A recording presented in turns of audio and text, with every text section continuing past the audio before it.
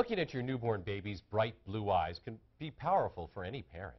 But if the eye color changes, it's nothing to be alarmed about. Dr. Lewis First uncovers some of the reasons behind the changes that you'll see.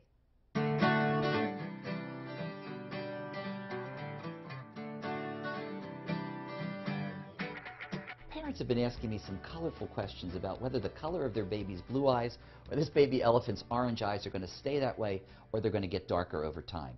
So let me see what I can see and talk a little bit about eye color. Eye color is the result of the production of a substance called melanin that gets deposited in the colored part of the eye we call the iris. Now the amount of melanin that's produced is a function of the genes your baby inherits from both parents. And melanin happens to be the same substance that determines the color of our skin.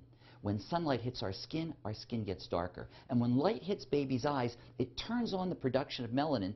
And depending on those genes your baby has, may turn on a lot of melanin, and eyes may turn from blue to green to hazel to brown to black over a period of time.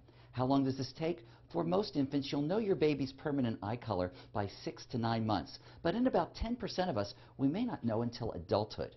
Why is that? Again, it's all due to the genes and how much melanin is being produced.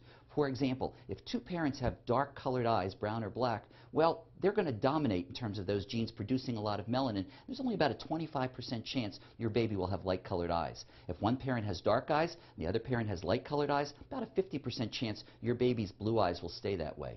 And if both pa parents have light colored eyes, well then the odds are great that your baby will also maintain those lighter colored eyes. So that hopefully tips like this will be ideal ones when it comes to knowing a little bit more about your baby's eye color and why it might change over time.